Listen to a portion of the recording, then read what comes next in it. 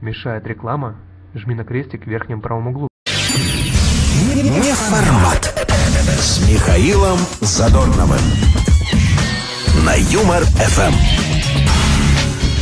Здравствуйте, дорогие друзья! Во Владивостоке уже и в Петропавловске-Камчатском долгий вечер. В Иркутске и Красноярске солнце клонится к закату. В Москве день, поэтому я говорю всем здравствуйте. Вы слушаете программу «Не формат» с Михаилом Задорновым на радиостанции Юмор ФМ. Михаилу Николаевичу помогаю традиционно я, Максим Забелин, продюсер радиостанции Юмор ФМ. Еще раз здравствуйте. Здравствуйте.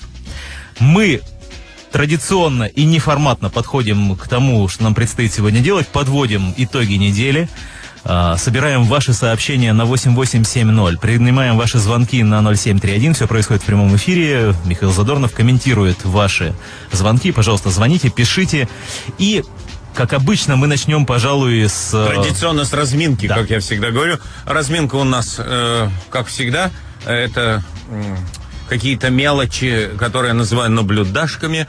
Но мы объявляли конкурс с вами, Максим, э, в предыдущих наших передачах.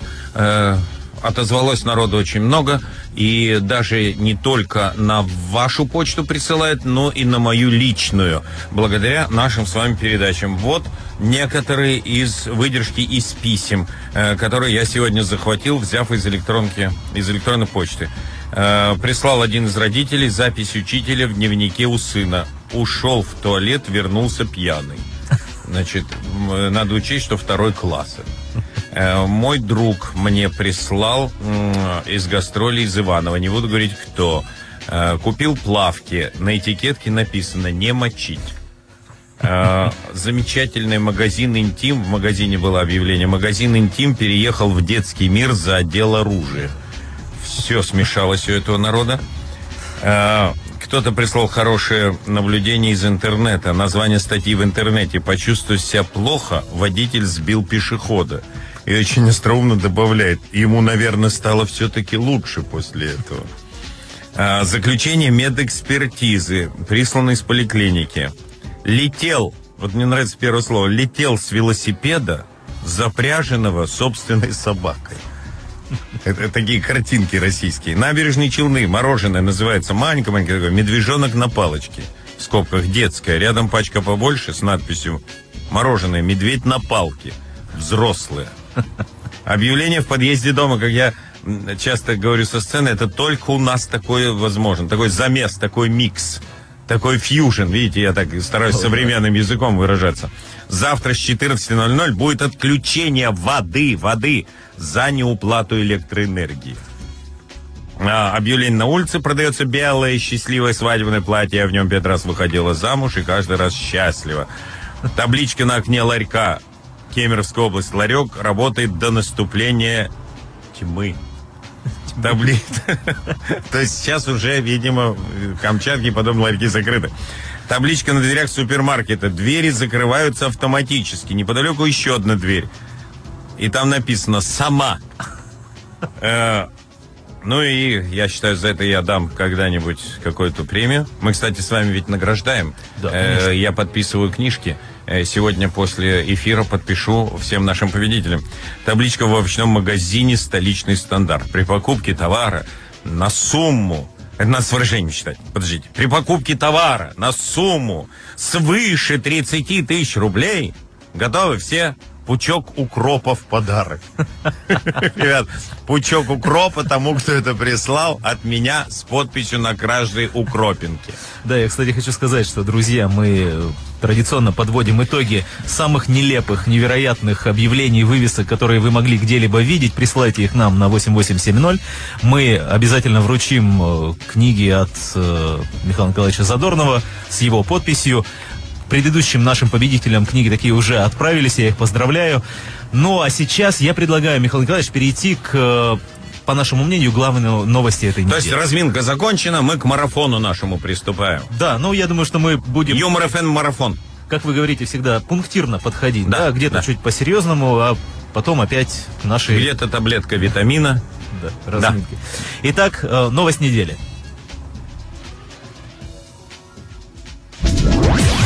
Не формат. Новость недели. Российские федеральные чиновники могут переехать в Коммунарку. Этот поселок находится в Ленинском районе Подмосковья, и, возможно, именно там, по сообщениям из разных источников, построят парламентский комплекс. Участок рядом с поселком Коммунарка приглянулся главе комиссии по возведению парламентского центра Владимиру Ресину. Чиновник заявил, цитирую, «Лично мне место понравилось. Я считаю, что размещение центра не принесет неудобств и ущерба для дачников и жителей данных территорий». Конец цитаты. В минувшую среду, 18 апреля, Дмитрий Медведев провел совещание по строительству парламентского центра. По мнению Дмитрия Анатольевича, там должны быть созданы все условия как для работы, так и для проживания законодателей. Среди прочего, Дмитрий Медведев заявил, что нынешние помещения и Государственной Думы, и Совета Федерации являются случайными. Высшие законодательные органы заслуживают лучшего, потому что именно там принимаются основные законы, которые определяют жизнь страны. Неформат. Новость недели. Итак, Михаил Николаевич, э, Да. Но сильно я не знал об этом. Я все-таки жил в Латвии, там как-то поспокойнее, там не так трясет страну, как Россию. И я- там, знаете, там э, новости другого характера. Там пограничника собака укусила, из Эстонии перешла без визы латышского. И такая история. медленно интернете. перешла границу и укусила. Три, вы- Неторопливо. три выдры, которых послали в ирландский зоопарк из Рижского, из них две сдохли. Там, в общем, такие совсем другого масштаба новости. Тут всех чиновников поселка. Владимир Иосифович Ресин вообще очень серьезный строитель. Я с ним знаком. Он мне даже один раз помог очень э, с моими родителями. Но все-таки мне кажется, что это абсурд переводить всех э, чиновников в поселок Коммунарка. Тут не хватает изречения Ленина. Э, коммунарка будет управлять государством или может управлять государством. Но у меня такое ощущение, что наш э, президент, я его называю президент Лайт, Медведев, он э, хочет, чтобы его запомнили на всю жизнь, чтобы он вот ушел э, с поста, а потом говорили, помните президент? Еще как не помнить, он в коммунарку нас всех согнал. Ой, а как не помнить, он в полиции, поли, милицию в полицию переименовал. Вы знаете, э, мне кажется, напоследок, очень у него еще есть несколько дней, я советую, если кто-то слушает нас, а наверняка кто-то слушает из администрации, они же обязаны отрабатывать свой хлеб. И есть такое предложение. Посоветуйте нашему президенту переименовать полицию все-таки э, в очередной раз. Точнее будет, в жандармерию. И, и главное, сделать держи морду. Но э, если всерьез говорить, ну как? Скажите, а как к этим чиновникам будут ездить? Они думают об этом или нет? Как будут к этим чиновникам ездить на прием? Вот, э, то есть они же э, избраны народом, они должны общаться с теми, кто их избирал. И как? Вообще потрясающе. Вот наспор сегодня вы будете говорить о каких-то нововведениях, предложениях э, наших правителей, чиновников, представителей власти. Это наспор. Вот не знаю, о чем вы будете меня спрашивать, но каждая сделала, заточена под одно. Взять бабки у государства. Вот как сейчас, на переезд, на строительство, наверняка определенной строительной фирме выделятся деньги, потом на перевоз, потом на квартиры чиновников. Да, никто не думает, только... Вот никто, ни, ни, ни в одном из, э, из предложений не будет, как сделать, чтобы народ лучше жил. Э, э, знаете, у Якубовича страшный случай произошел. Я говорил вам на прошлой передаче, нет? Якубович, за- э, Якубович Леня очень находчивый. И вот в его передаче он, он э, балагурил, балагурил остроумно, и вдруг наступила пауза. Такая не... Ужас охватил аудиторию и Якубовича. Я видел, как зашевелились волосы у него даже в подмышках под костюмом. Женщина с ним говорила, «Ма, я вам подарок привезла, мед там, еще что он говорит, а вы откуда? А я оттуда. А кем вы работаете? А я работаю врачом детским, э, психологом. А сколько вы получаете? Она говорит, я не хочу об этом говорить. Вдруг посерьезнее. Он говорит, а все-таки сколько?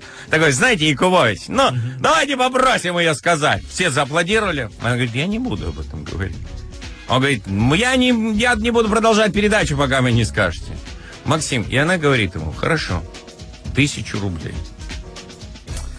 Да, и повисла пауза, когда всем стыдно за государство стало. Сектор, вы банкрот. Ну, а, и она, почему, она классная такая женщина наша, э, бабеха, которая не хотела унижать государство, произнося э, цифру своей зарплаты. И Якубович замолчал. Вот как и опять все, я заикаться начал от этой новости перевода всех в коммунарку. Михаил Николаевич, коммуналку их надо. мы сделаем подборку. Здесь есть новости действительно по предложениям. Вот Мы интересно, правильно я сказал заранее? Посмотрим.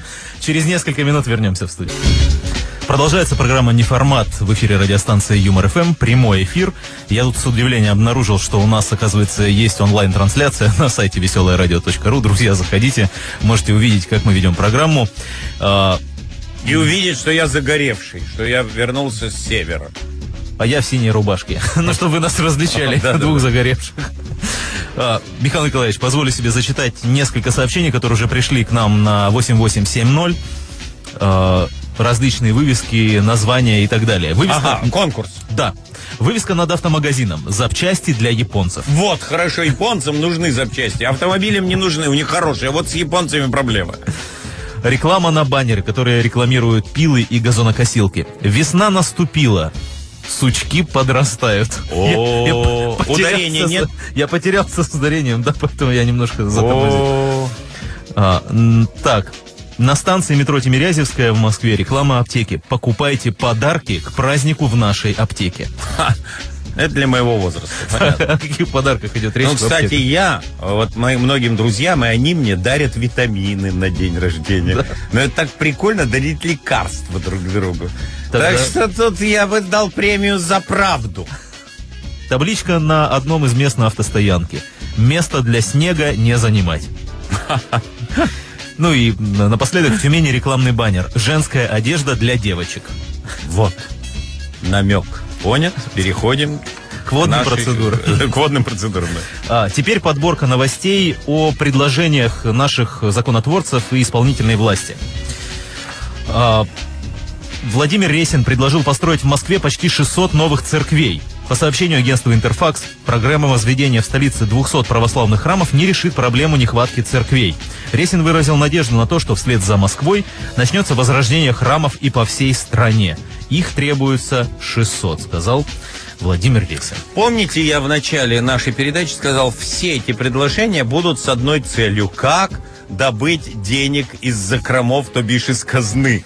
Вот один вопрос. Что сподвигло Владимира Иосифовича Ресина на такое количество строить, на, на строительство такого количества православных храмов? А, ну что ж, я надеюсь, что наряд будет выдан строительной фирме под его руководством на строительство этих храмов. И 600 храмов будут построены в Москве. Это прекрасно, я считаю. А, Мэр Москвы Сергей Собянин заявил, что в ближайшие пять лет в Москве планируется построить 75 километров линий метро. Ну, здесь приводятся слова мэра, но самое удивительное следующее, что Сергей Собянин сообщил, что в рамках строительства метро, к вашим словам, Михаил Николаевич, в 2010 году Сейчас было... про деньги пойдет. Было освоено 25 миллиардов рублей. В прошлом году 50 миллиардов рублей. А в этом году планируется освоить более 100 миллиардов рублей. А вот той женщине, которая у Якубовича в программе была, никто не хочет увеличить зарплату. Никто. Так, ну, на спорт следующее предложение. Так, следующее... Наш это- спор продолжается. Минфин предлагает поднять пенсионный возраст для мужчин и женщин до 63 лет. Начать постепенное повышение пенсионного возраста Министерство финансов предлагает с 2015 года. Двигаться к этому повышению Минфин предлагает поступательно и разными темпами, прибавляя по 3 месяца в год для мужчин и по 6 для женщин. Ну, молодцы, ребят. А главное, знаете, как э, определили э, в документе юридическом эти сроки? Максим, это страшно говорить. Это вы говорите пенсионный возраст. Там определено по-другому. Сроки дожития. Вы представляете, какой грустняк гонят наши? Их и в коммунарку, и в коммуналку загонять надо. Да, Хоть бы своих родителей пожалели. Ведь они тоже попадают в сроки дожития. Я на самом деле сейчас вдруг понял, что мы э, только что подарили замечательную, замечательный интернет-мем. Это коммуналка. То есть здесь виновников в коммуналку. да. В коммуналку их всех. Ну, э, людей, которые определяют изменение сроков дожития. Юридически. Они ведь и облака разгоняют, не понимая, что этого нельзя делать. 64 миллиона рублей предлагается в этом году потратить на разгон облаков. Это Будет- что, я угадал то, что вы сейчас будете говорить? Да, будет 64 миллиона рублей потрачено на разгон облаков в преддверии праздников 9 мая и 12 июня. И- Но вы понимаете, что это проконтролировать невозможно. Куда, какое облако собиралось, куда нас, где нас посетить, да? Но гениальная статья расходов. Разгон облаков. Э, с- помните это на колокольне, помните эта частушка? Э, там Иван, что ли, на колокольне одним местом колоколь- машет. Э, Разгоняет облака. Это про нашу мэрию. Я думал, вот это на колокольне, на колокольне музыка играет, а я одна стою на берегу. А я однозначно... Но, э, Максим, извините, давайте вот на этой теме а, одну минутку задержимся. Нельзя этого делать. Это преступление. Облака для того существуют, чтобы равновесие в природе было. И когда их посыпают вот этой гадостью, там чуть ли не цементом их посыла- в- посыпают, потом крапивные листья сворачиваются. Они, крапива и та жить не хочет в этих условиях. А как люди хотят жить? Вы знаете, что сейчас э, приезжают, вот, допустим, из каких-то крестьянских сел э, люди в Москву. У них нет аллергий. Вы мне сами когда-то говорили, э, что вы приехали из Владивостока, когда в Москву у вас аллергии не было, да? Да, это правда. Здесь появилась? Да. Вот, таких очень много, и не только в Москве. Вот эта жизнь с нарушением законов природы, данные нам законы Богом, а не юристами, когда нарушаются, люди начинают болеть. И э, когда разгоняют облака, только количество болезней увеличится э, в том э, месте, в котором это происходит. Это преступление. Ну что делать, если нами руководят недообразы? то бишь безобразы. Безобразование настоящее может сократить до слова безобраз. Я э, на этом, если я буду продолжать, меня придется запипикивать, поэтому я сам запипикаюсь, а пи-пи-пи-пи-пи, это то, что я им адресовал. Ну, я думаю, что по образованию мы еще сегодня поговорим. Есть несколько информационных сообщений на этот счет, но мы буквально через несколько минут к ним вернемся. Продолжается программа «Не формат» в прямом эфире на радиостанции Юмор ФМ. Э, Михаил Задорнов отвечает на ваши вопросы, подводим итоги недели. Э, Пришло такое сообщение, Михаил Николаевич. В коммунарке при Сталине людей расстреливали. Нашим чинушам там самое место. Ой, дрожь э, по спине, э, мурашки по спине пробежали. Э, Видите, нас слушают не только желающие похохотать, но и умные. А для желающих похохотать я буквально пару Да. сообщений еще приход- приходящих к нам на 8870. А, в метро когда-то стояла скамейка, на данный момент ее нет. На стене висит объявление. Граждане-пассажиры, будьте внимательны, скамейка находится на ремонте, не садитесь. Ой, ну подарите мне это, я буду зачитывать в концерте. Гениально! Ценник в магазине. Грейпфрут. А на метро Бауманская э, рюмочная. Сухой закон. Хорошо, называется рюмочная. Да, да. Кодирование началось. А, еще одно объявление на столбе. Это по поводу конца света. Очень интересно, мне понравилось. Уважаемые олигархи, в декабре конец света. Если не хотите потерять деньги, перечисляйте средства на мой такой-то указан счет. Верну, если что. А очень остроумно. Здорово. Но это э, я когда-то говорил в концерте, что мне олигархов более всего будет жалко. Перед концом света они не будут знать, куда деть свои бабки и как перевести, э, обустроив последующую жизнь на небесах. Э, но вот это, то, что вы зачитали, остроумнее сформулировано. Молодцы. Хорошие люди нас слушают. У нас сегодня появилось сообщение абсолютно в тему. Интерфакс э, сообщает, что по версии журнала Forbes, э, Forbes в 200, э, число 200 богатейших бизнесменов России вошло э, количество людей 200. Да? Да, но самая главная информация заключается в том, что состояние их общее составило 446 миллиардов долларов, в то время как в прошлом году это состояние оценивалось 498 миллиардов долларов. То есть наши олигархи в купе потеряли примерно 52 миллиарда долларов.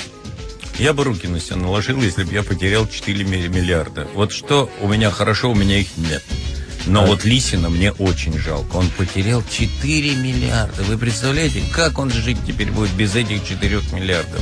Да, он переместился на второе место в этом списке, а первое место возглавил список Алишер Усманов с 18 миллиардами долларов. Это который у нас э, рынок э, крышевал. Я, Он- не, я не знаю, где у вас. У нас где? А, нет, я спутал. Я эти фамилии путаю. У меня память отторгает эти фамилии. Ну, на самом деле, богатые люди, все хорошо, прекрасно и замечательно. У них Все хорошо, кроме, э, кроме одного, что их очень жалко. Ну, Да. Чем им заниматься дальше, действительно? Лисина, Усманова, да.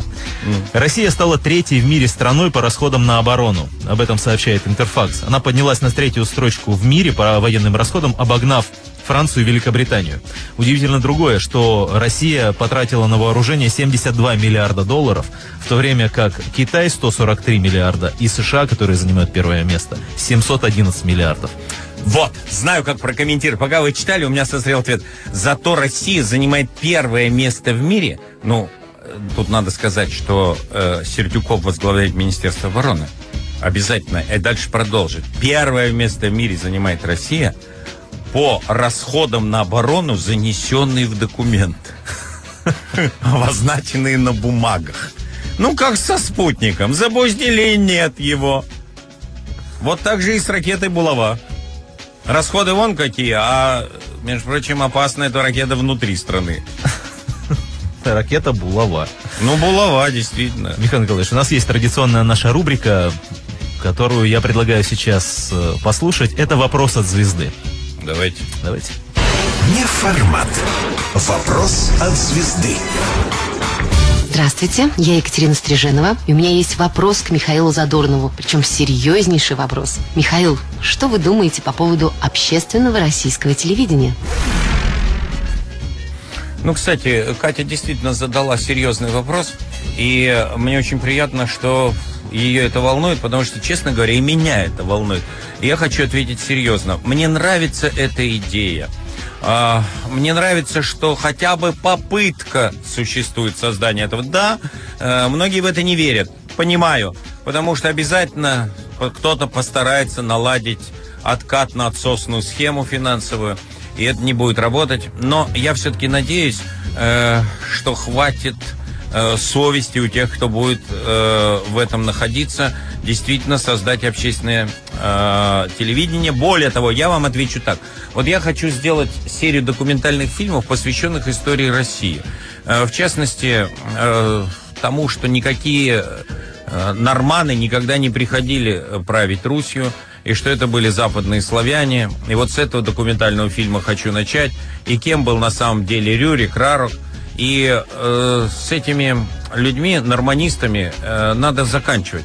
Потому что, знаете, вот я выписал специально, я не знал про Катин вопрос, я, может быть, немножко отвлекаюсь, но вот смотрите, что говорил известный нацистский палач Генрих Гиммлер. Этот низкопробный людской сброд славяне сегодня столь же не способны поддерживать порядок, как не были способны много столетий назад, когда эти люди призывали варягов, когда они приглашали Рюрика. Это Гиммлер говорил. Теперь смотрите. Майнкамф, Гитлер. Негосударственное дарование славянству дали силу, крепость русскому государству. Всем этим Россия обязана была германским элементом. Превосходнейший пример той громадной государственной роли, которую способны играть германские элементы, действия внутри более низкой расы. Вся нормандская теория э, начала создаваться в 17 веке, когда было смутное время. С одной целью – разграбить Россию. Тогда еще не знали про нефть, но уже нравилась эта территория. Шведы вообще создали э, в 16 веке теорию, что э, из Гипербореи они обозначили Швецию Гиперборей. У Геродота есть такое, э, такой абзац, мол, боги наши греческие, у греческого историка э, Геродота, прилетели из Гипербореи. Он так и пишет, прилетели. Так вот, шведы сказали, Гиперборея это Скандинавия, так что не только Рюрик у них швед, но и Аполлон швед, между прочим. Но шведов в то время не было, это раз. И сегодня ученые есть, Сахаров существует, причем Андрей Сахаров, совершенно э, одноименец, однофамилец. Фомин, э, Фомин Кузьмин, э, ученые 19 века, Гедеонов Иловайский, Ломоносов, наконец, а, сегодняшняя Лидия Грот, Меркулов, они доказали совершенно стопроцентно, что этой истории не было. Но в учебниках преподают, что русские пошли от сканди... что слово «русский» произошло от шведского имени «Рос», и что русские произошли от шведов. Это сегодня в учебниках, я сам это читал. И это одобрено Министерством образования. То есть у нас засели викинги, норманы э, на- наверху. И бороться с ними надо сегодня общественным мнением, а не пытаться одних викингов скинуть других викингов. Это невозможно. Но общественное мнение их выдавит. Сегодня говорят о конце света. Да, конец света должен наступить для власти тьмы. А власть тьмы идет у нас в образовании прежде всего. И есть даже выражение «отфурсили». И это уже не мною придуманное. Отфурсить очень точное выражение. Но самое из этого обидное, что наш патриарх Кирилл высказал следующую мысль. Я не хотел об этом упоминать, я давно об этом знаю, но после, всей этой истории с часами, с этой пылью, знаете, наверное, жалко библиотеку, бесспорно, но подавать в суд человеку святейшему, наверное, это не к лицу все-таки. Знаете, смиренность есть такое понятие у христиан. Христианин – это смиренный человек прежде всего. И жалко, что наши чиновники церковные так э, порой э, нехорошо по отношению к православной церкви ведут себя. Э, когда прису- присудили ведь э, Кириллу, э, он выиграл в суде процесс. Ему присудили 200 миллионов. 20. Э, простите, 20 миллионов рублей, да? Это 500 тысяч евро. Это что, без этого обойтись невозможно? А эти часы, вся эта история с часами, Христос был скромнее, между прочим. Вообще, когда я вижу наших церковников в этих расписных золотых одеждах, вы что, дорогие, думаете, вам паства не поверит, если вы будете скромно одеты? Иисус говорил, уберите торговцев из храма. Если уж на то пошло, нельзя разве пригласить э, с автомойки, которая находится под крышей собора главного храма нашего московского, и там автомойщики платно работают, пускай перемоют библиотеку тогда, в конце концов. И вот что позволил себе сказать святейший. Православная церковь хранит в своей истории, в своем предании значительные имена святых равноапостольных Кирилла и Мефодия. В каком-то смысле мы церковь Кирилла и Мефодия. Хорошо. Аккуратно, хорошо. Они вышли из просвещенного греко-римского мира. Не очень согласен, но не могу говорить, надо, это надо доказывать, почему я не согласен. И пошли с проповедью к славянам. Хорошо, допустим. А кто такие были славяне, задает Кирилл сам себе вопрос. Это варвары, люди, говорящие на непонятном языке. Внимание, это люди второго сорта. Это почти звери. И вот к ним пошли просвещенные мужи, принесли им свет Христовой истины и сделали что-то очень важное. Это неправда.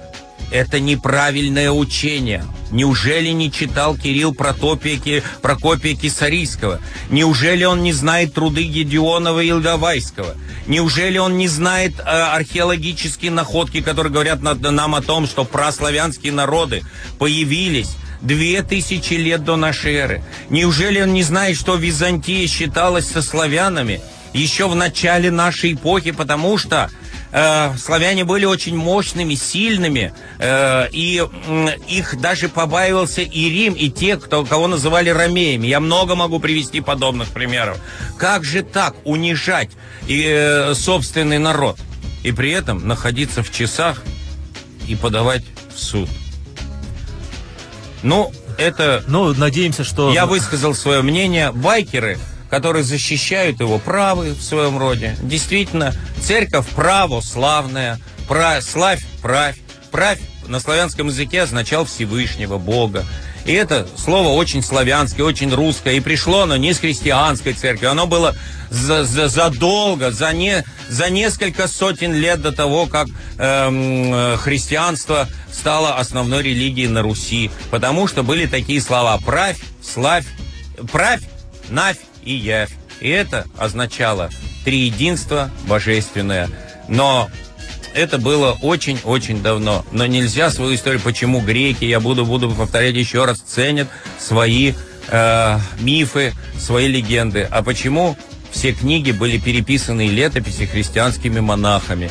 Были сожжены и уничтожены написанные до этого Кирилл и. Между прочим, кириллицы называть неправильно, потому что Кирилл два часа в жизни или четыре был Кириллом. На самом деле он был Константином. Перед смертью принял имя Кирилла, и поэтому э, это не повод называть кириллицей. Э, ну, правда, он све- всего два часа побыл Кириллом и все. Но дело в том, что он сам был очень честным, нравственным проповедником. И он написал, я свои э, письмена взял у чернорисца Храбра, монаха западнославянского, который, наверное, жил в Моравии в то время. Это его изречение. Письменность была, если Бодричи заключили в седьмом веке договор с Карлом Великим на двух языках, то один из них язык Карла Великого, а второй Бодричи, значит, письменность была. Но это все уничтожено практически, а осталось за границей. Так поучитесь у за границей, как уважать надо было, надо славян, как уважали в то время славян, когда был еще Карл Великий.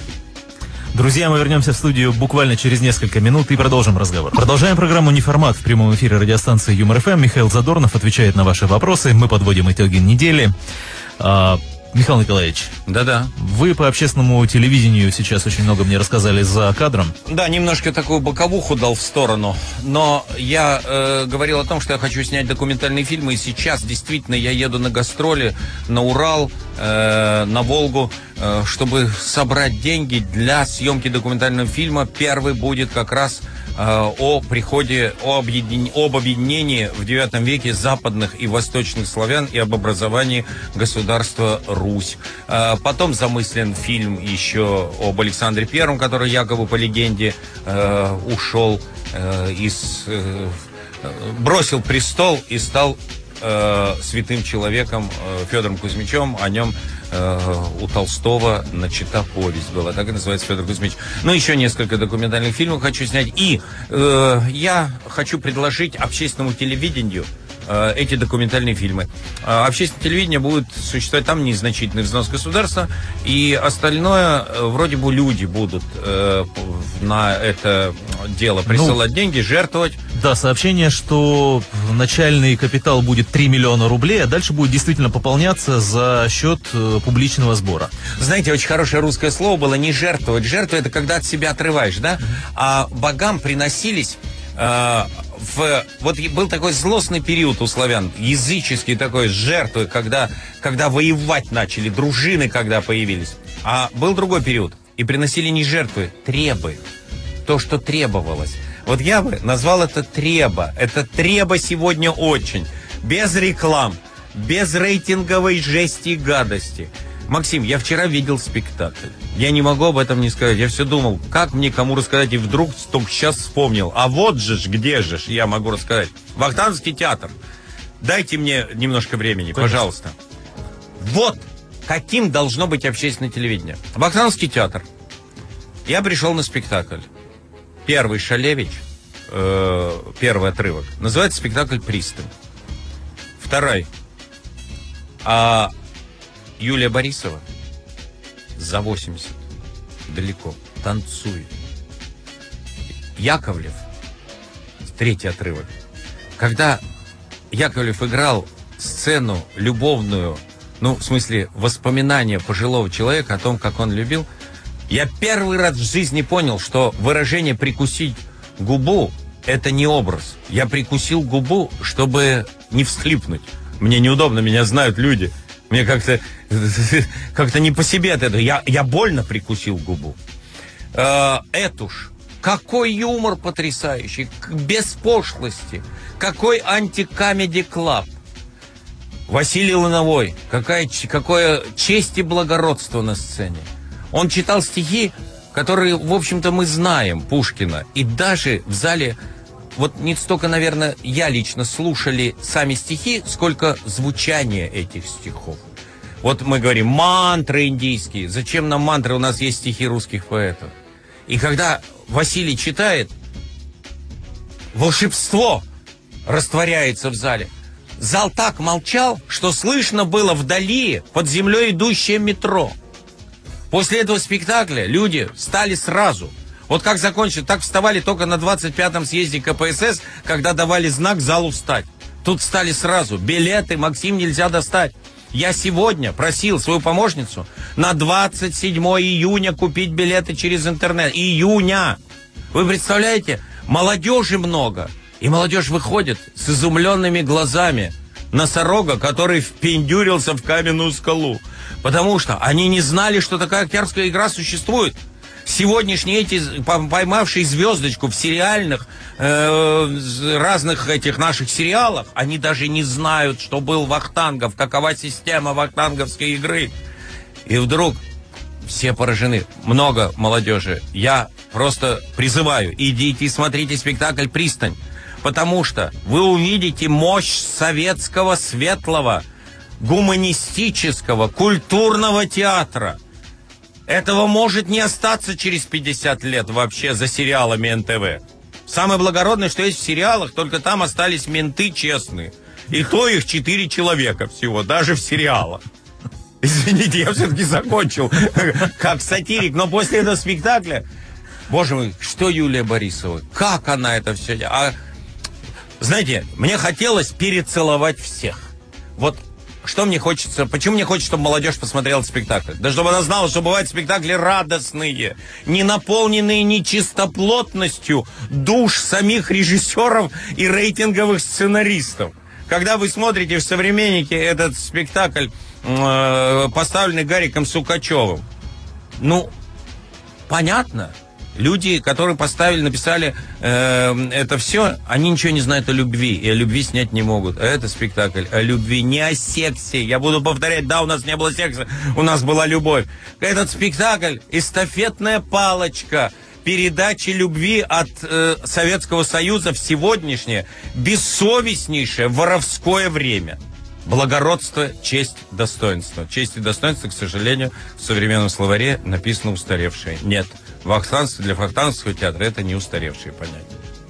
Михаил Николаевич, на этой неделе пришло очень интересное сообщение о том, что э, полицейская академия культуры, которая будет работать в Бурятии, она открылась, э, будет преподавать полицейским риторику, пиар-технологию, а также искусство танца и другие предметы. Это по поводу четырех вот. ментов, которые в Бурятии остались. Вот нашли чем занять полицию, да? Замечательно. Хотя жалко, что это только в Бурятии, конечно. А вы знаете, откуда слово бурят? Извините, я все время на свое. Бурят это слово брат. Они братья наши. Ведь буряты и монголы одного языка. Язык означало народ в свое время. Но они остались у нас и стали нашими братьями. Так что, понимаю, братья наши, давайте петь и танцевать, это гуманнее, чем пытать. И быть жандармами, и строить держиморт из себя. Действительно, еще много сообщений приходит к нам. Я попытаюсь сейчас несколько зачитать. Давайте. Да, поскольку мы так уж договорились, что раз в 15 минут мы это читаем. А, друзья, на 8870, пожалуйста, присылайте ваше сообщение. 0731 звоните. Я прошу прощения, то, что мы не принимаем звонки, потому что очень интересный разговор. И я понимаю, насколько он интересен нашим слушателям. Но обещаю, что да, мы примем звонки от вас. 0731 звоните с ваших мобильных телефонов. Пока несколько сообщений. Реклама лекарства. Мне 60, а суставом 30. У меня наоборот. Мне 60, а суставом 108. Поэтому я прислушаюсь к этому совету. Так. А вот реклама в Екатеринбурге. Мне тоже дали эту выписку. Сан-Фаянс. Это, это, это унитаз вообще-то. Но вообще Сан-Фаянс лучше. Тире, толчок для новых идей и решений. Что-то какая-то у меня... Вот у вас, у вас интерес... У меня тема какая-то другая мне подсунули. Ну, у меня тема следующая. Маршрутка и указание маршрута, по которому она ходит. Роддом-морг. Представляете, как, жизненный маршрут. Представляете, такой, вся жизнь. Один маршрут и вся жизнь. В мытищах на центральной улице всю зиму висел огромный рекламный щит. Посадим всех, да, время посадки, хорошо. Вот это мне нравится плакат в кинозале. Быть человеком – это много, а женщины еще больше. Но это подарок для меня. Это я буду на выступлениях использовать. Дом актера в городе Новосибирск под табличкой «Дом актера» висит еще одна табличка «Комната депутатов». Точняк. Вот умеют писать правду, когда не понимают, что делают. Корпоративное объявление. Вот за это, это претендует на первое место. Поздравления детей с 25 по 28 декабря с Новым годом. Принимается заказ на Деда Мороза с Снегурочкой. Дальше я не могу не смеясь, не читать в скобках. Просьба пап Пап не к папам, а пап, еще с ошибкой. Просьба пап Снегурку отдельно не заказывать. Я не могу, я, я не могу. И у меня с детства хрюк вырывается иногда. Ну, так это На телевидении пипи, запипикивание, а у меня захрюкивание. Друзья, 0731-8870, номер для ваших смс-сообщений и телефонных звонков. Прямая трансляция на сайте веселорадио.ру. А, Мы сейчас прервемся на некоторое время и появимся в ваших радиоприемниках в начале следующего часа. Мы продолжаем программу «Неформат». Еще час мы находимся в прямом эфире. Михаил Задорнов отвечает на ваши звонки. И подводим мы итоги недели. Ему помогаю я. Меня зовут Максим Забелин. Я продюсер радиостанции. Мы а, принимаем ваши сообщения, которые очень смешны. Мы обещаем подвести итоги в конце программы и вручить э, книжки и диски от Михаила Николаевича Задорнова. А пока буквально несколько сообщений от маэстро. Ну, во-первых, до сих пор не знают, кто будет э, на месте Шойгу в Министерстве чрезвычайных происшествий. Самыми вероятными его преемниками обе кандидатуры рассматриваются на посту министра. Это Спайдерман и Бэтмен. Э, Ну, а больше всего тому факту, что география не вошла в список предметов обязательных а, для изучения в школе, обрадовались, конечно же, японцы. Таким образом, в России уже через 30 лет никто не вспомнит, что Курилы – это Сахалинская область. Кот Медведева пропал, потому что не был подключен к системе ГЛОНАСС. Когда у Тимошенко болит голова, ей просто ослабляют косички. Когда Путин летит в одном самолете с Медведевым, Дмитрий Анатольевич всегда уступает место ему в окошко. На самом деле, задача конструкторов «Лады» заключается в отражении политической ситуации в стране. Вроде все новое, а суть та же. Работники «АвтоВАЗа» просят закрыть производство «Лады», так как они устали каждый год придумывать разные названия для одной и той же машины. Когда загорелся Москва-Сити, французская армия была приведена в повышенную боеготовность. После введения платного образования среднего обычными станут случаи, когда дети из бедных семей будут караулить по двери учителей и просить, ну расскажите мне закон Ома, у папки неделя до получки осталась. Теперь школьники будут друг перед другом хвастаться. Тебе что родители на Новый год подарили? А мне 10 часов геометрии. Проверять сдачу не отходя из... Не вы- пр- проверять сдачу не выходя из класса. Вот такая новая будет у учеников поговорка. А родители будут по утрам говорить, куда ты собираешься, опять в школу? Мы что тебе эти деньги печатаем?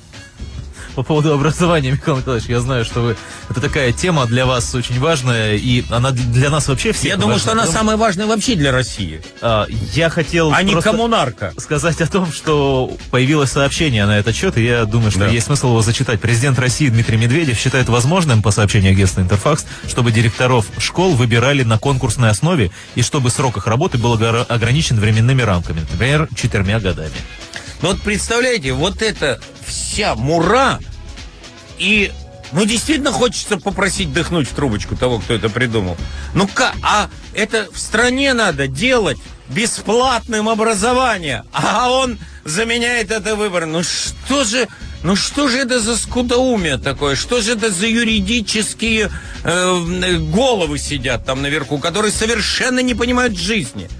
Я, я пи, пи, пи, пи, пи. Все, я не знаю, что говорить. Я могу только сказать, подчиненные знали, как порадовать Шойгу перед отставкой. Ему может помочь только хороший пожар. Улучшить настроение. Пропроводили с фейерверком. А в Венгрии ушел президент в отставку за подделку диссертации. Это правда, да. Слабак. У нас чиновники даже за оригинал уголовного дела не уходят в отставку. А у Медведева год сплошных потерь. То кот пропадет, то кресло. Готовится к выпуску новый автомобиль «Лада Ларго». Производитель обещает придерживаться традиции АвтоВАЗа. Машина будет хуже предыдущей. Э, у меня на сей момент все. Э, продолжаем нашу передачу. Да, я просто хотел сказать, что вот такие отвлечения сразу приходят- а, э, я придумал, наше точное время 16 часов несколько минут. приходят сообщения, люди пишут спасибо большое за ваш интерактивный концерт. Но по большому счету, да, у нас программа это и одновременно э, какая-то комичная составляющая и при этом очень серьезный разговор. А на знаете, у меня в концертах сейчас так же и молодежь пошла. И взрослые говорят, что вы там... э, э, ну, взрослые, это я себя считаю взрослым. Мое поколение говорит, что ты стал мудрить в концертах? Молодежь нуждается в этом. Михаил Николаевич, у нас есть звонок, мы обещали принять. Кстати, мы совсем Да. забыли, что вообще-то у нас люди некоторые находятся в пробках, им хоть чем-то надо заняться. Например, позвонить нам. Зоя, здравствуйте. Здравствуйте. Здравствуйте, Зоя. Эй, Добрый день, меня слышно? Да, слышно, хорошо, вывели вас хорошо по громкости. Смотрите, есть такая история с митрополитом Кириллом, и вообще, мне кажется, с церковью на сегодняшний день, я думаю, Михаилу это будет интересно, поскольку он иногда пытается там, рассказывать интересные случаи с нашими священниками. Так вот, э, митрополит Кирилл поддерживал именно богатую школу, не бедную, да, а именно богатую, где э, с помощью фонда примирения и согласия, да, классический пансион МГУ, где, извините, оплата, да, самих учеников и прочее, прочее, там, по полторы тысячи долларов.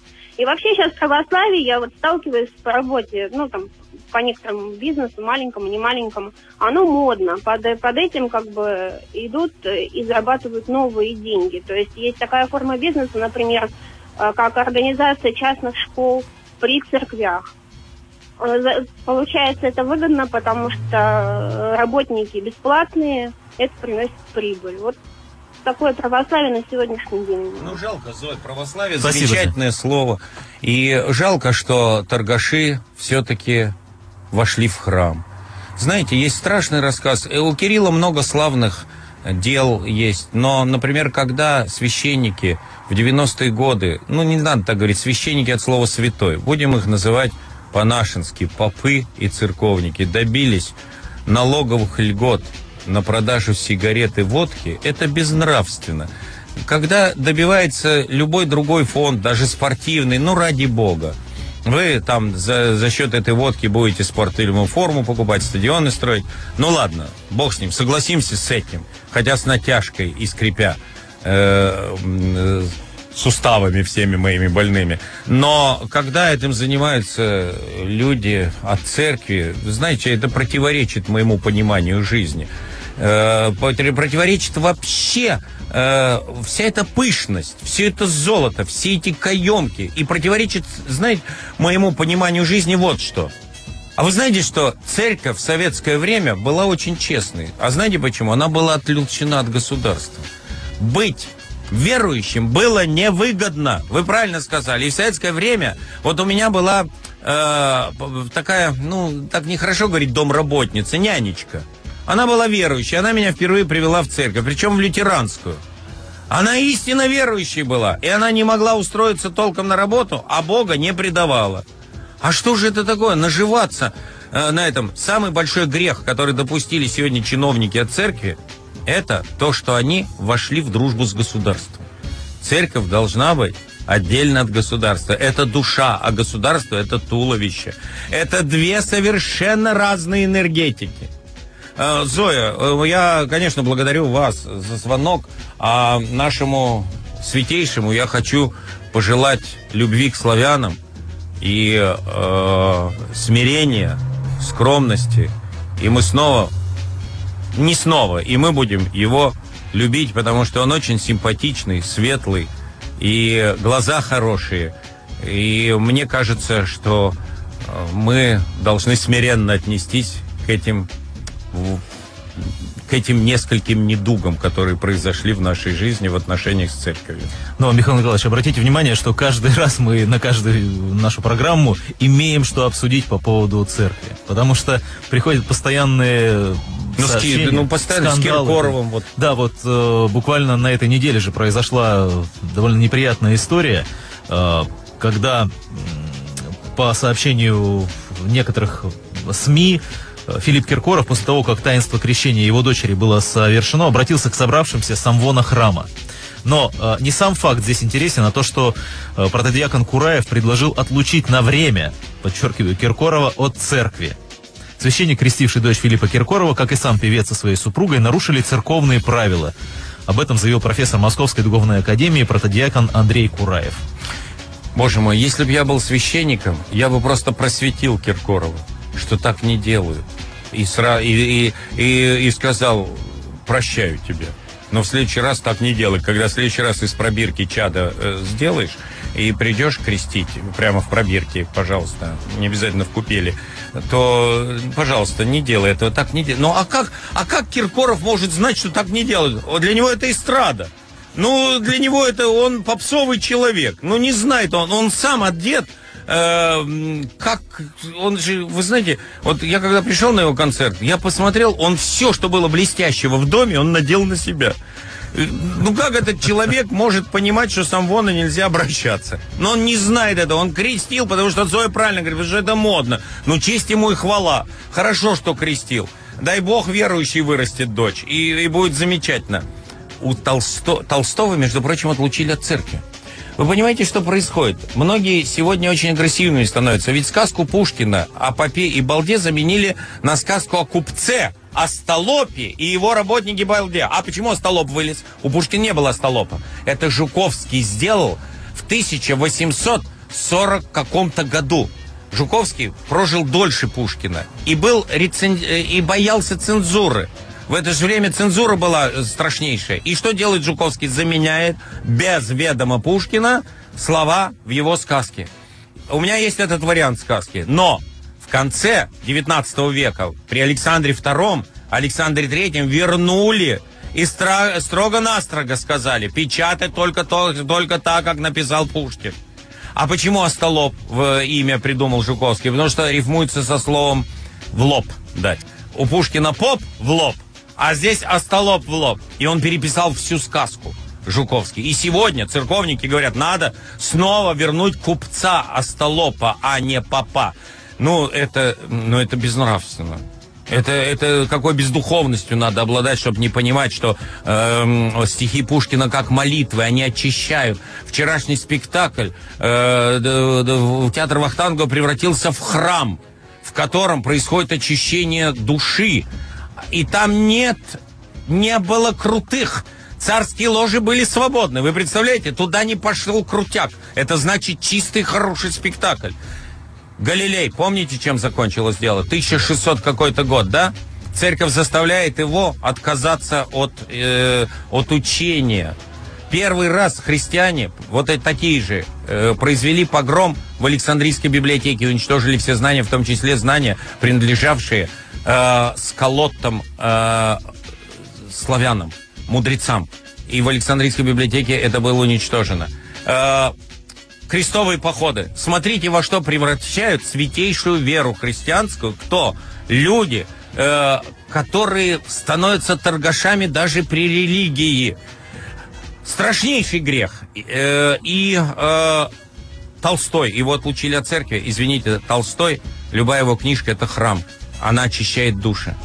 А вы под храмами устраиваете мойки, презентации, и в некоторых храм, при некоторых храмах уже проводят презентации каких-то книг и даже встречи на высоком уровне. Черный ход работает.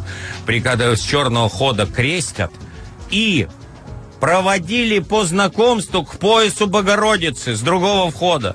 Ну разве это не святотатство? Где же тут вера в Бога? Нет, это торговля религией, а не вера в Бога. Но много христиан сегодня верит в Бога. И за ни, и, и, и вот как им быть? Куда им деться? Они же христиане истинные, по душе, а не как торгаши. Вот за них-то очень обидно, извините. Людям, которые заходят в церковь с черного хода, я предлагаю прямо сейчас послушать рекламу на радиостанции Юмор ФМ. Продолжаем программу «Неформат» в эфире Юмор ФМ. Михаил Задорнов. Э, Мы продолжаем отвечать на ваши звонки, на ваши сообщения и, конечно же, подводить итоги недели. Этот час у нас обещает быть довольно интересным и забавным, потому что есть несколько сообщений, которые просто, ну не знаю, заставляют посмотреть на мир по-другому. Но о них чуть позже. А пока несколько сообщений на номер 8870. Мне буквально пара очень понравилась, я позволю их себе зачитать, Михаил Николаевич. Да. Купили на днях сухарики, называются путинки с хреном. Ну, бренд просто.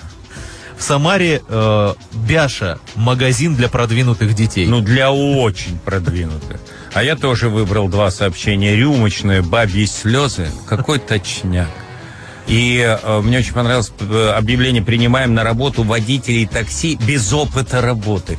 Вот мне чем это понравилось? У нас ведь и в правительстве так принимают без опыта работы. Ну вот кто такой Фурсенко? Он что, всю жизнь э, был учителем? Если бы он был учителем, беседовал с учениками, учил их чистописанию и писать грамотно, я понимаю, почему он мог дослужиться до министра. Он же ниоткуда пришел. Как вот этот водитель такси, не умеющий водить машину. Э, а- Один к одному. Вообще, есть такая мудрость, к сожалению, э, сегодняшняя. Те, кто умеют, те работают, а кто не умеет, тот учит.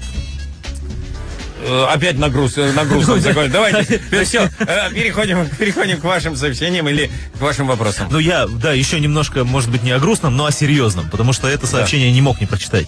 А, Наши, наш разговор по поводу церкви, православия, язычества вызвал очень большой резонанс, приходит очень много сообщений. Одно из них такое. Сейчас много молодежи э, отрекаются от православия и становятся язычниками. Что вы думаете об этом? Пишет нам абонент из Ростовской области. Ой, э, я быстро скажу. Во-первых, неправильно понимать слово язычники. Язык – это народ.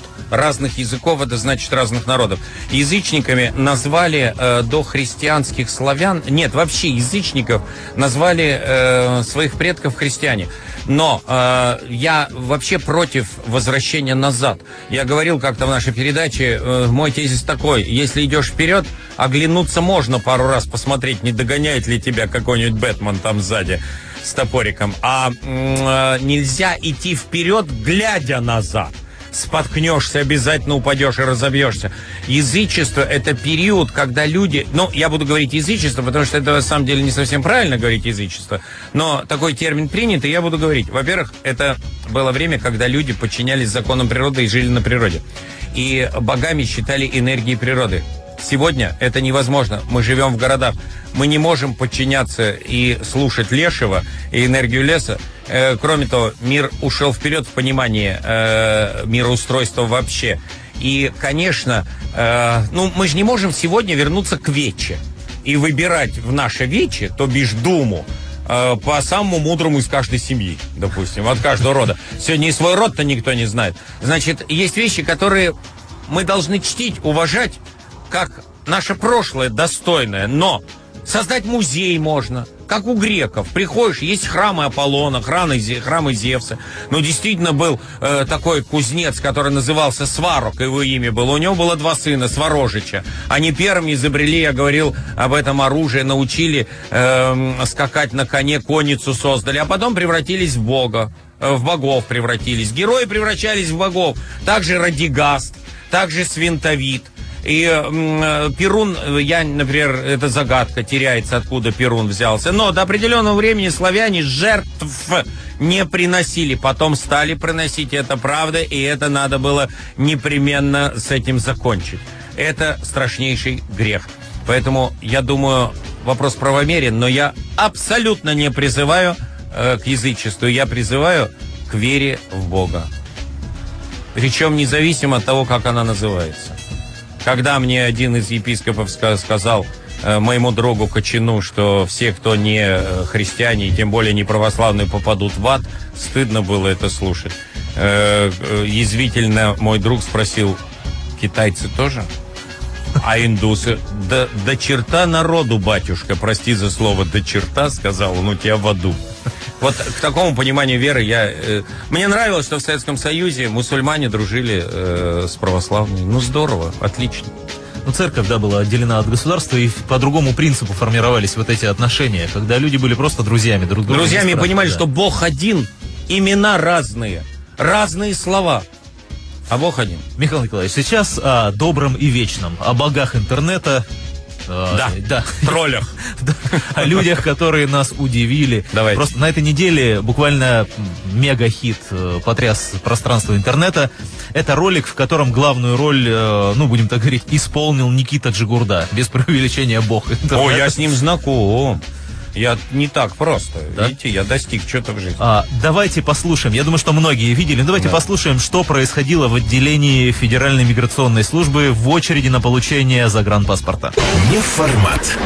Хит недели. Я еще раз говорю, выйди отсюда! Вы как можно говорить, я на госуслугах регистрировался, вообще без очереди могу. Какие нахуй госуслуги? Какие тут очередь стоит? Я стою в очереди. Я на сайте регистрировался. Ботаник пришел сюда и Кто качает ботаник, права. кто ботаник, а вы Чубака. Так, пошел сюда, быстро! Давай сюда! Чубака, Что это происходит? госуслуги у него.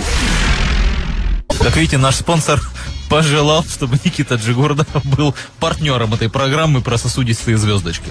Так вот, Это мы, мы сейчас в эфире? мы сейчас в эфире, да. Ой, гениально. Вот э, главная реклама сразу после вот этого, э, вот этой записи. Это кто? Со, зомби Чубака! Проблемные ноги. Такое ощущение, что у Чубаки оторвали ноги к чертовой матери. И надо смазать их капилляром. Ой, э, капилларом, чтобы они переросли. Я не могу. Я расхохотался просто. Надо хочу, Чтобы вообще... Чубака стал человеком, смажь его кремом. Смажь его капилларом. Проблемные ноги, звездочки, а у того у Чубаки явно звездочки полетели, судя по звукам этого развалившегося Чубаки. Вам вообще Чубаку с Никитой надо взять э, к себе сюда, чтобы они рекламой занимались, потому что это грандиозно. Сейчас капиллар запомнят все после Чубаки. Чу, капиллар, чу- так и надо называть, капилла- масть капиллар Чубака. Не, что такое или кто такой Чубака? Возник законный вопрос у большей половины аудитории радиостанции Юмор. Что за ботаник? Мы, на- мы нашли, почему Ботаник назвал Никиту Джигурду э, Чубакой. Да, Итак, почему? что такое Чубака? Небольшой фрагмент из э, кинофильма «Звездные войны». Это честный ход. Криками не поможешь. Чубака это было такое волосатое существо, которое все время там ревело, не произнося никаких слов, помните? Вот что. Как я могу помнить, я не смотрел это. Ну вы неужели вы меня представляете сидящим и смотрящим Звездные войны и упивающимся от вида Чубаки? У которого сопли из ноздрей тянутся. Наверное, я не знаю, я не смотрел. Ой, ботаник Чубака, ну ты насмешил. Ботаник, если слышишь нас, нас, низкий тебе поклон от нас, не Чубак. Мы не доросли до этого высокого. Джигурда молодец. Я считаю, что я его... Да знаете, он когда был в моих защитниках в передаче с Гордоном, он, та, он так наорал, что Гордон взбесился. Я-то вообще не спорил ни с кем. Взбесил всех Джигурда. И я думаю, что в фильме о Рюрике он у меня обязательно будет Нормана играть, скандинава. Настоящего такого, который должен взбаламутить славян на правильную жизнь. Друзья, у нас небольшая рекламная пауза. Послушайте немного занимательной информации. Мы вернемся в студию через несколько минут. Продолжается программа «Не формат». Мы, с вашего позволения, друзья, перейдем к э, событиям, которые происходили за рубежом. И э, у меня есть буквально т- топ-5 исследований.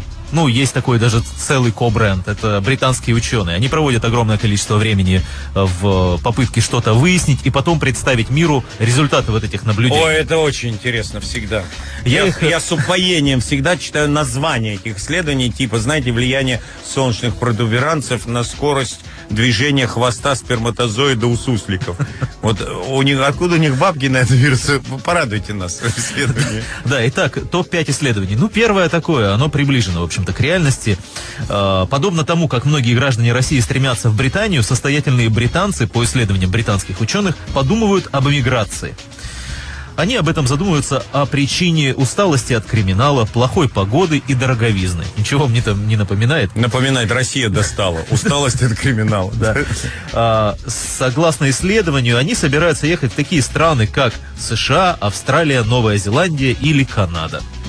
Вот мне понравилось это сообщение, потому что сразу чувствуется, что русские туда приехали в большом количестве. И я считаю, надо туда наших олигархов сплавлять. Надо очищать Россию. Но англичане могут, не заблуждайтесь. Вы приедете в Америку, наши и там достанут вскоре вас, олигархи. А, Еще одно исследование британских ученых гласит, что мама готовит вкуснее, чем жена. Так, по крайней мере, считают почти 60% опрошенных. А, Они выражают неудовольство, недовольствие тем, как готовит их супруга, и э, предпочитают тайком ездить обедать к родителям, потому что они считают, что их мама проводит больше времени на кухне, чем супруга, и готовит более вкусно. Вы знаете, что очень интересно? Вот охота им этим заниматься, да? Когда каждый из нас знает, что именно так с детства и есть. Что мама готовит вкуснее, более того, и грудное молоко вкуснее у мамы. Чем у супруги, да? Кошмар, жуть какую. Простите, дорогие радиослушатели. Вот еще, Больше не будет. еще одно сообщение от британских ученых. Они провели исследование и выяснили, что большинство британцев, которые изменяют своим женам, ездят на автомобилях марки BMW. Если ваш супруг ездит на автомобиле марки BMW, то существует вероятность, говорят ученые, что он вам изменяет. А, дорогие женщины и девушки, обратите внимание, подчеркиваю, если вы живете в России, ваш супруг живет в Англии, ездит на БМВ, и вы не видите с ним уже много лет, есть вероятность, что он вам изменяет, причем и без БМВ. Есть э, даже процент такой вероятности, 19,21% вероятности того, что он это делает. К русским это не подходит. Ни БМВ, ни эта вероятность. А, чудесное совершенно исследование. Долгие, видимо, месяцы, а может быть даже и годы проводили британские ученые в своих институтах, чтобы выяснить следующее. Постоянное сидение на мягком месте, например, за компьютером, способствует увеличению его размеров. О! Вот правильное исследование. Вывод. Чем больше сидишь, говорят британские ученые, тем больше ягодицы. Наконец-то это доказано. Ка- вот теперь можем жить спокойно. Причем, чем больше сидишь, тем мягче мягкое место надо. Слушайте, а что ж, простите, меня цепануло предыдущее э, исследование. А что, кто ездит на Ладе Калине, уже изменять не может супруги? У него уже все и по русским дорогам, да? Там а- а- отбивалого полное Да, у него тонкий голос, ну и так далее. Да, да, да. Ну. И, конечно, номер один Да. в этом э, топ-параде исследований британских ученых следующее. Недавно проведенное исследование показало, какие комплименты девушки любят, а какие слова им лучше не говорить. Ну, я опущу те комплименты, которые они любят, ну, то, что она красивая. Дорогая, сам- любимый мой пирожок, мой с- слон... Про пирожок, нет. может быть, нет. Но вот, ни в коем случае, говорят британские исследователи, нельзя говорить женщине, что она выглядит устало, на ней много макияжа, что она прибавила в весе, что у нее крупные черты лица. Также не рекомендуется бросать фразы вроде «ты не так глупа, как казалось» или «выглядишь лучше, что чем можно было бы предположить». Это, я подчеркиваю, комплименты, которые не стоит говорить Максим, девушке. какие же они тупые. Это же потрясающе. То есть так они этого без исследования не знали, да? Вот так он не знал, что подойти к женщине любимой и сказать, ты что-то потолстела. Такой, и это называется комплимент. Нормально? Им исследования они провели. А еще я добавлю, нет, я бы изысканнее, я бы изысканнее проводил исследования. Вот, например, э, э, комплименты очень любят женщин друг другу отпускать. Вот это интересно. Говорит, ой, платье, какое у тебя сегодня платье на вечеринке? Где? Ну, Не, извини, на пати. Э, на пати. Э, говорит, какое у тебя платье, я уже в который раз любуюсь им. И, и говорит, зеленое платье тебе все-таки зеленый к лицу уже много лет. Вот я предлагаю такой конкурс организовать сейчас, отвлечься от наблюдашек. Этот конкурс у нас идет э, э, и так э, самоходом. А вот такой конкурс организовать на комплименты женщинам. Причем, знаете, э, ведь русские только называют предметами своих любимых. Ты моя рыбка, ты моя зайка. У англичан или у американцев одно. Ханы, медовая. И все, у них воображения нет. Чтобы назвать ты мой бегемотик там, или ты мой пирожок, э, ты там, э, с- с- я не знаю, э, один там э, из моих знакомых называл, ты моя селедочка, говорил, ты мой суслик, зяблик, э, с птицами, на- боже мой, белочка. Весь животный мир наши мужики переверут, чтобы назвать э, э, как-то ласково своих Чтобы только любимых. по имени не говорить. Чтобы только имя не произносить в суе. Э, В суе это приличное слово. И я э, хочу призвать, значит, поделиться мужиков, которые нас слышат, как они называют своих любимых. Это будет, по-моему, очень интересно. А я хочу тогда обратиться к девушкам. Дорогие девушки, присылайте, мы, может быть, успеем их прочитать. Я думаю, да, успеем. Обязательно самые нелепые комплименты, которые вам говорили. Давайте посмотрим действительно на Но это. это очень нет? интересно. Я, например, слышал, как одна, одна симпатичная женщина говорила своему мужу, с которым они жили давно, «Ах ты мой негодяй!» Говорила она так ласково, и он балдел. А один иммигрант свою жену, вы знаете же по-английски wife, жена, называл ты моя вайфелька. Вот э, я, я хотел бы услышать еще такие вот... у наших же воображения по пьяни в бане, они придумывают то, что не изобретет никакая, никакой общественный фонд английский не, вы, не изучит.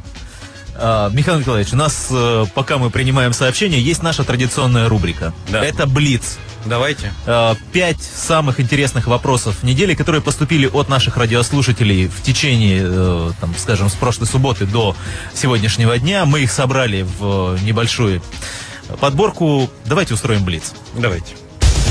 Неформат. Пять лучших вопросов недели. Номер пять. Михаил Николаевич, скажите мне, кто придумал на майские праздники работать три субботы? С уважением, Лева. Придумали те же, кто переименовал милицию в полицию. Это все одно. и Кто сократил часовые пояса. И сейчас очень правильно чиновников переводит. У меня даже слово, слово в коммунарку. В коммуналку. Я думаю, что у Левы тут есть еще более глубокий подтекст. Он спрашивает, кто придумал вообще три субботы подряд работать. А, три субботы. Лёва. Смотрите, я даже не словил. Лева, у вас хороший мозг. Три субботы подряд придумал. Три шабата.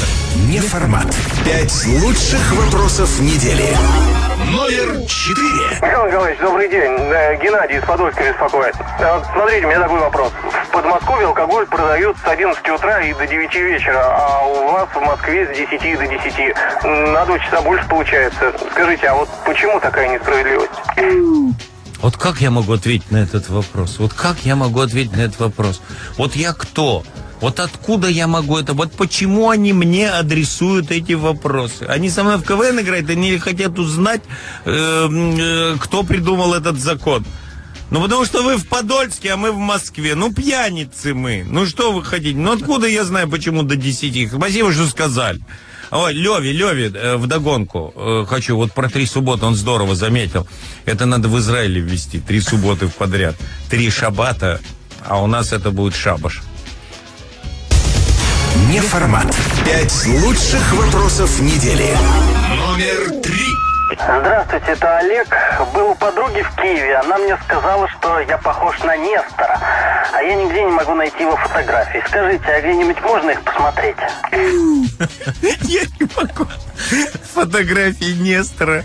Фотоальбом есть. Там Александр Невский, э, Александр Македонский, э, Нестор. И, и, и рядом большая такая э, серия э, фотографий из жизни Иисуса. Вам надо посмотреть. Красочный фотоальбом. Он раскрашенный, да. Или на сайт зайдите Нестора. Он, там, у него есть блог сейчас, и он весь свежак выкладывает на своем блоге. стене, на стене, Уже да. На стене. Свежак Нестора. Меня удивило другое, как при каких обстоятельствах, интересно, подруга Олегу сказала, что он на Нестора На Нестора. И сколько лет подруге? И где она видела Нестора? Слушай, спроси у подруги, она когда не... Она вообще, может, имела в виду, я знаю, там один пацан есть. У него кликуха Нестор, он крышует бензоколонки сейчас. Может, она его имела в виду.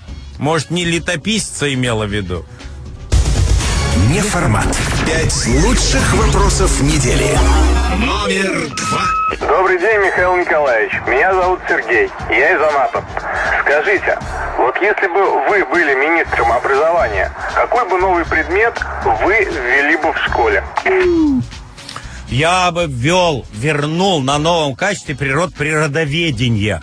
Х- хороший вопрос, потому что, еще раз повторю, если человек не нарушает э, законы природы, он автоматически не нарушает юридические законы. Э, мне это сказал еще папа. Если будешь жить порядочным человеком, никогда не изучай никакие кодексы уголовные, ты их не будешь нарушать. Э, природоведение обязательно нужно детям. Неформат. Пять лучших вопросов недели. Номер один. Здравствуйте, Михаил Николаевич. Это Павел из Иркутска. Я очень люблю читать. А у вас есть книга или книги, которые вы еще не прочитали, но очень хотите прочитать? У меня в Риге целая библиотека. Я прочитал книг из этой библиотеки, может, только 10%. Я так хочу, а у меня дома есть такая библиотека, например, 90 томов Толстого. Когда-то меня отец попросил, я учился в Москве, дособирать это полное собрание сочинений под редакцией Черткова, друга Толстого, который собирал все, даже записки, написанные Львом Николаевичем. Я все-таки мечтаю, что я когда-нибудь прочитаю, когда меня выгонят, наконец, со сцены, э, не разрешат больше вести передачу в- э, по радио Юмор ФМ, сяду и буду читать Толстого. У вас замечательный вопрос, только мне стало грустновато. Сколько времени, да, еще нужно для того, чтобы все прочитать? Ну, все прочитать нельзя, но самое важное, его так много. Да здравствуй, и хочется поэтому закончить э, правильным э, строчкой стихотворения, которое вчера прочитал Василий Лановой, и зал зааплодировал. Да здравствует солнце, да скроется тьма. Прекрасные стихи. Давайте послушаем рекламу. Программа «Неформат», к большому сожалению, подходит к своему концу, но у нас есть еще 15 минут на то, чтобы завершить ее, прочитать некоторые из ваших сообщений. И э, мы по итогам нашего небольшого конкурса, который объявили, получили очень много э, посланий с ваших мобильных телефонов. Михаил Николаевич, я передаю вам слово по поводу того, как люди называют э, любимых друг друга и какие комплименты отпускают. Прям чудесно это. Ой, ну это мгновенно, вот мгновенно насыпалось нам на почту, друзья мои, но это я без смеха читать не могу. Представляете? И это мужики, вот классно. Не, у нас народ не безнадежен. Пока, пока так называют мужики своих любимых, и те, и те тащатся от этого, мы сильны духом. И вот сообщение. Я свою девушку зову, готовы, да? Мотя. Мотя моя. И ей нравится. И она воспламеняется. Мотя, она воспламенилась. А этот зовет свою, ты моя колбаска. Вот англичанам такие комплименты не снились. Они даже не знают, что такое можно изучать.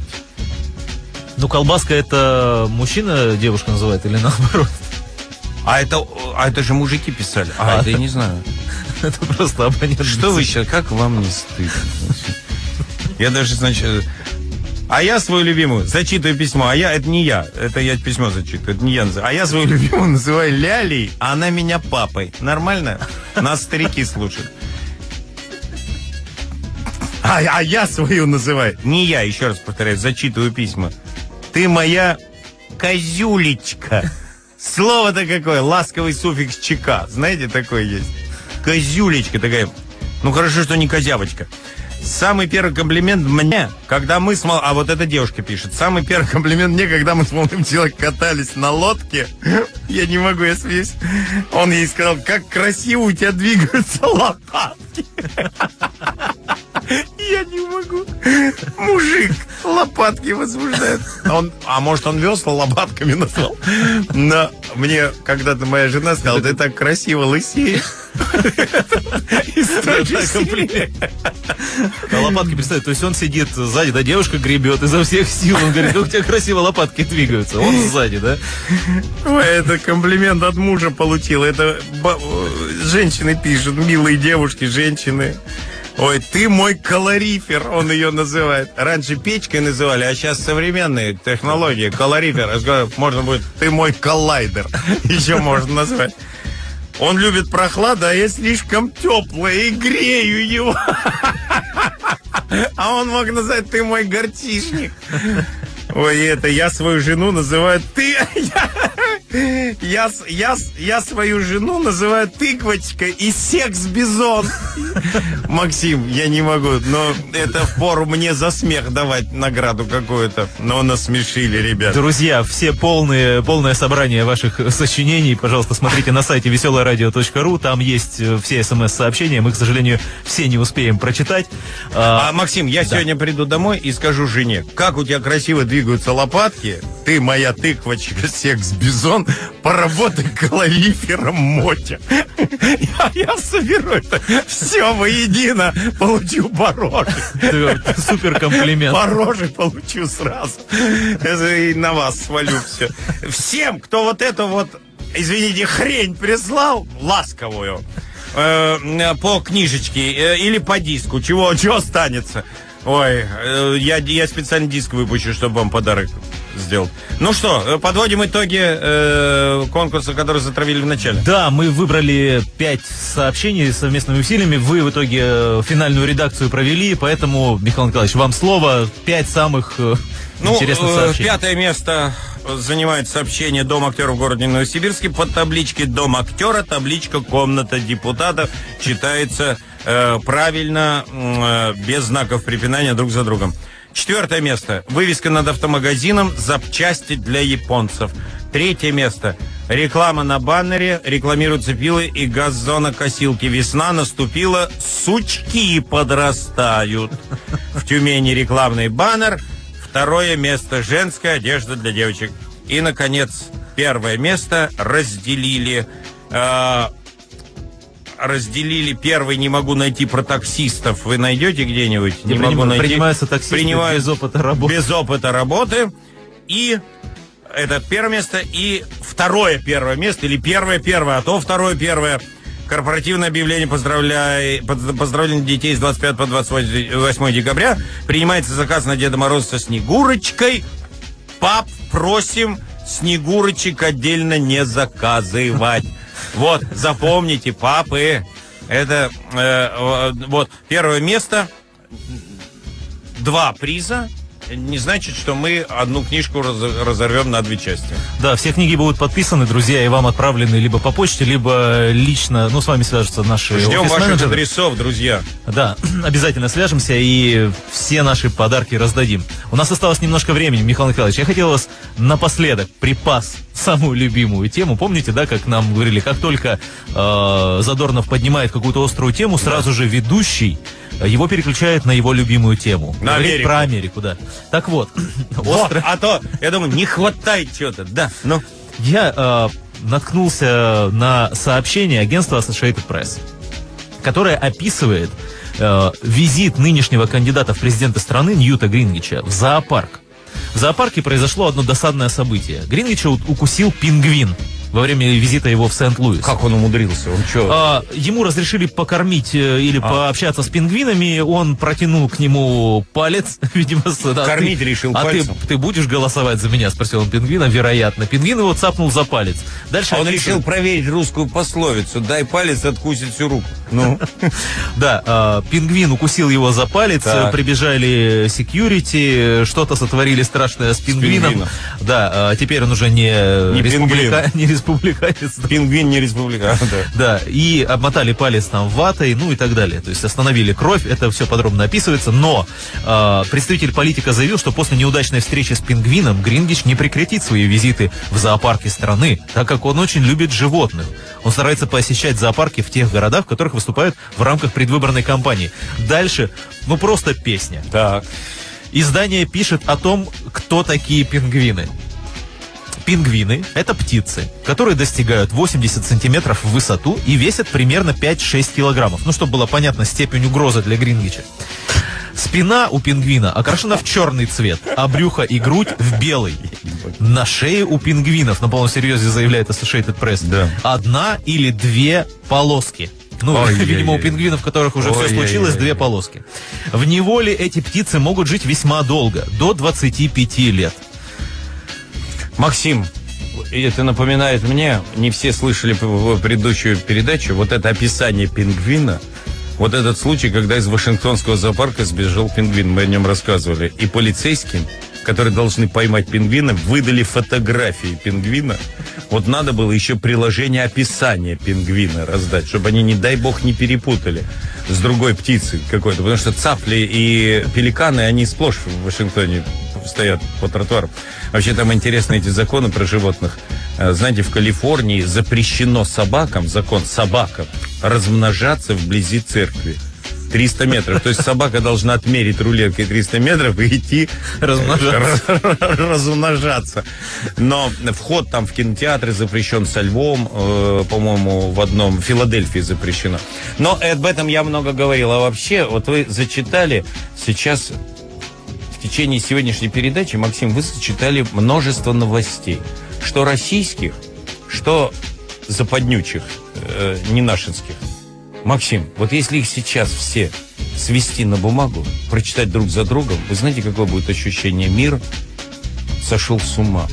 Это сумасшедший дом, правителями которого выбраны из числа пациентов. Выбирали сами больные. И поэтому девиз нашей передачи должен остаться вот этот. Да здравствует солнце, да скроется тьма. Так не хочется жить в сумасшедшем доме. Да, потому что сообщения, ну, которые я, по крайней мере, вижу, мы не успели их за сегодня зачитать, но я, по крайней мере, заголовки. Э, Король Испании извинился за охоту на слонов в Ботсване. Дело в том, что Слава Богу! во время, О, ох- молодец. во время охоты Хуан Карлос I неудачно упал. Со Сломав- слона? Да, сломав шейку бедра. Сказал, Слону. я- Наверное, сказал, я а больше шейку охотиться бедра у слона, это не слава было бы, Он- добав. Он признался, кстати, об этом лечащим врачам. Он сказал, что больше охотиться не будет. Гениально. Это единственная причина. Да, Да, а- а, шей- а- ну, а шейка бедра он не сказал, срослась, нет? Но он же в возрасте. Да. Это вообще опасно. Мы вот так шутим, а вообще это опасно для Испании. Ну и финал. А это э, этого слона баски вырастили. Это террористический акт. Ну, Памела Андерсон решила выставить свою да грудь. уже можете не говорить. Памела Андерсон и все, и, и смеяться. Она решила выставить свою грудь на аукцион. Известная американская актриса. Что, Модель. простите, что? Грудь. Грудь на аукцион. А, Дело в том, что она э, посетила своего пластического хирурга, он ей посоветовал поменять импланты. Она старые пл- импланты вытащила, новые вставила, то есть все хорошо у Памелы Андерсон, но куда девать старые импланты? Американка решила заработать. Ну, гениально. Выставила на аукцион. Ну, и, и- и будет торговля. Левая сиська Памела Андерсон. 100 тысяч долларов. Я даю 150. А потом, представляете, кто-то купит на одну только хватит сиську, а на вторую не, не хватит. И он принесет домой, поставит и будет гостей звать. Посмотрите, у меня сиська Памелы Андерсон. Ну, сумасшедший дом это все. А ведь у нее еще и ягодицы с имплантантами. А потом у нее ведь груди менялись несколько раз. Значит, у нее Можно не две груди. Собери полную коллекцию Полную коллекцию. Андерсон. Представляете, у меня полная коллекция сисек Памелы Андерсон. А еще там же и ягодицы тоже были с имплантантами. Это же известная история. Да, значит, еще полная коллекция ягодиц. А так и, да, и далее можно. Пупки Памелы Андерсон собирать можно начать. Ну, грандиозно. Сумасшедший дом. Друзья, на этой замечательной и прекрасной ноте мы подходим к концу нашей программы. Мы... Но пока мы смеемся над этим, мы не безнадежны. И солнце проглянет. Михаил Николаевич, ну это же ваша мысль, да, что юмор это вообще национальная идея нашего народа. Потому что... В основу национальной идеи должно быть должно пол- положено наше, наше чувство юмора. Ничего нельзя закладывать в будущее, над чем мы смеемся сегодня. Поэтому, друзья, смейтесь, смейтесь от души, с ней, смейтесь вместе с нами, вместе с радиостанцией Юмор ФМ. Я благодарю вас всех за то, что вы провели эти два часа вместе с нами. Оставайтесь на нашей волне. Мы встретимся с вами уже очень скоро, может быть, даже на следующей неделе. Всего вам доброго. Неформат на Юмор ФМ.